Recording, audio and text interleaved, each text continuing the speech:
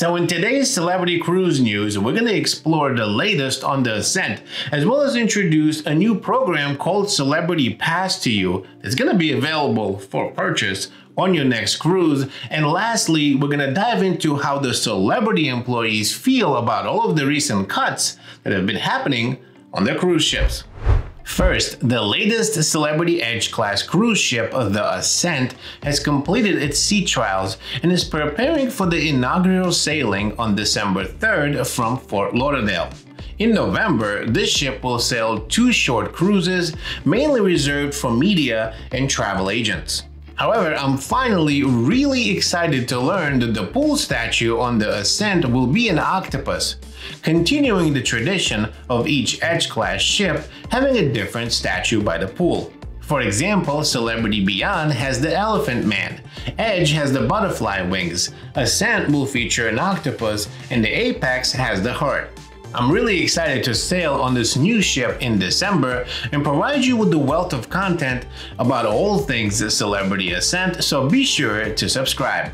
Oh, and on a side note, Celebrity is very close to announcing the name and the itinerary of their fifth Edge class cruise ship, the one that's going to be coming after the Ascent. I'll be sure to include that in the next episode of Cruise News, where you can watch Captain Kate talk about this new ship in the video above. Now next, Celebrity Cruises has introduced the quote-unquote Celebrity Pass, a VIP upgrade option for guests to enhance their cruise experience with premium benefits. Booked guests and members of the Cruise Lines Captain Club loyalty program have received notifications about this new option and its perks. The benefits of the Celebrity Pass include priority embarkation, exclusive welcome lunch, premium Wi-Fi for up to two devices per guest, waived room service fee, which is kind of interesting, priority access for tender ports, which I mean I guess is a positive, reserved prime theater seating. So on evening chic nights or formal nights, celebrity pass holders get access to reserved prime seating in the ship's theater. The Celebrity Pass will be available for $32.99 per person per day.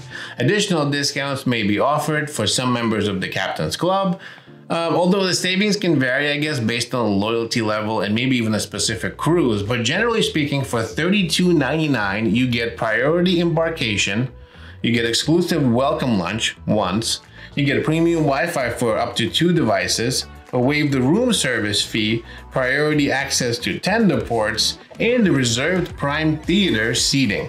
It's currently unclear whether the Celebrity Pass is available fleet-wide or only on select ships or sailings for like a trial period, like the same way they do testing on the Equinox. I'm not sure if it's a test or if this is something they're gonna roll out fleet-wide, but the cruise line often introduces such programs on limited basis to gather feedback and make adjustments before they really ship it out to their whole fleet. The value of this celebrity pass depends on the individual preference or maybe even your travel habits. For example, travelers who prefer to unplug and maybe not even use Wi-Fi might not need it, right? Likewise, guests who don't typically use room service really won't need it either.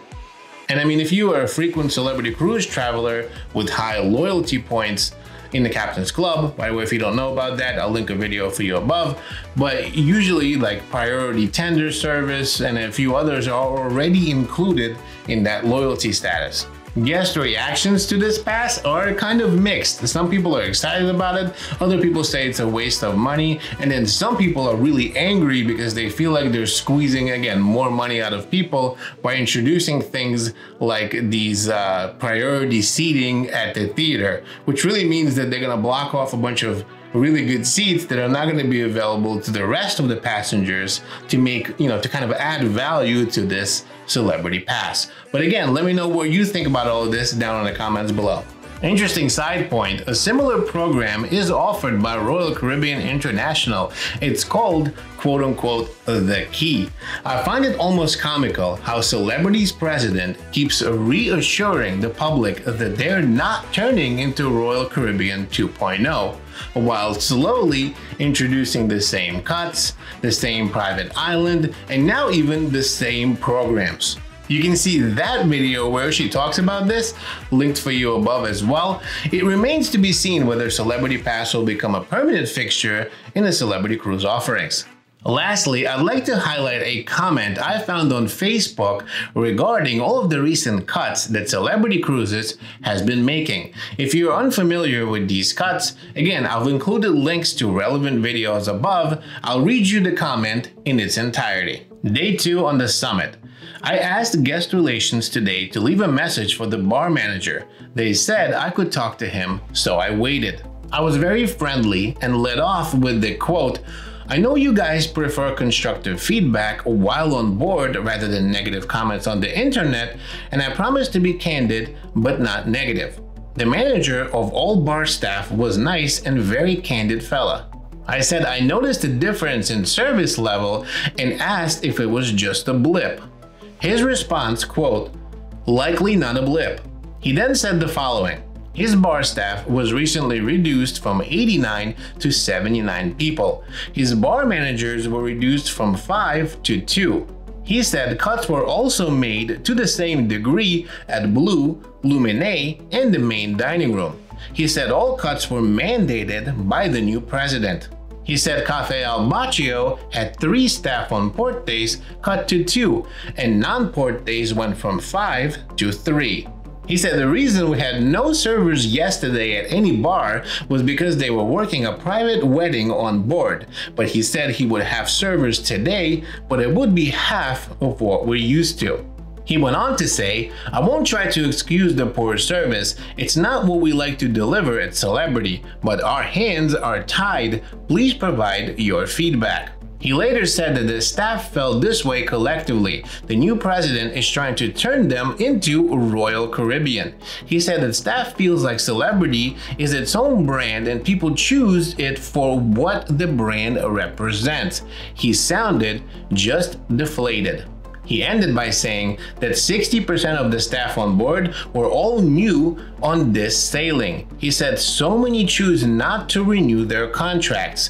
When hit with many more rooms to clean and bars to cover, he said that many are working 13 to 15 hour days now and they're just exhausted. They continue in the comment, so for all of the defenders of celebrity, this is a real story direct from the manager. He urges us all to write in with our feedback. Other things, the hall on deck 3 this morning smelled like a giant smoking area. Ditto for all of deck 5 last night. I asked why they weren't policing the smokers on 3 who were smoking in the room, and the frank response was, and I quote, we just don't have enough managers anymore. Personally, we're no longer booking Celebrity, so this is my last post. We have a cruise with Azamara in June, booked and probably do Virgin and Oceania in the fall. Never had service this bad with Celebrity, and no sense of feeling that the service is anywhere close to returning to the Celebrity standards. It feels like NCL or Carnival. As you can see, these cuts are being felt across the entire Celebrity Cruise brand, from the passengers all the way to the employees. Everyone is feeling this pain. As always, I'd love to hear what you think about this in the comments down below. Thanks so much for watching. I'll see you in the next video.